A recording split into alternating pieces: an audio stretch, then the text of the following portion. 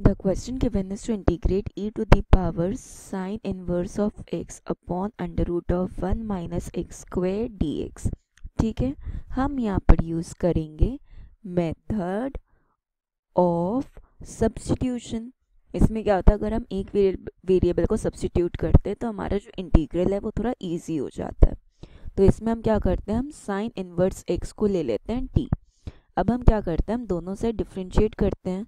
D of sine inverse x is equal to d of t करते हैं। तो दोनों से डिफ्रेंशिएट करने पे हमें क्या मिलेगा? साइन इनवर्स एक्स का जो इंटीग्रेशन डिफ्रेंशिएशन होता है वो कितना होता है? One upon under root of one minus x square और डी एक्स हो जाएगा ये इक्वल्स टू डी टी अब हमारा ये जो टर्म था हम इसको ऐसे लिख सकते हैं integration e to the power sine inverse x into d x upon under root of one minus x square तो हमारे पास साइन इनवर्स भी एक्स भी टी की टर्म्स में आ गया और d x upon under root one minus x square भी डी टी की टर्म्स में आ गया।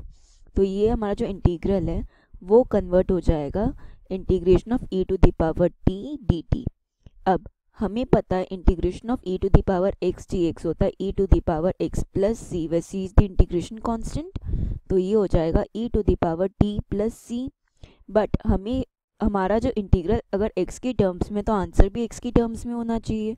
तो हम d को वापस साइन इनवर्स x से रिप्लेस कर देंगे। तो ये हमारे पास आ जाएगा e to the power sine inverse x plus c so this is our required answer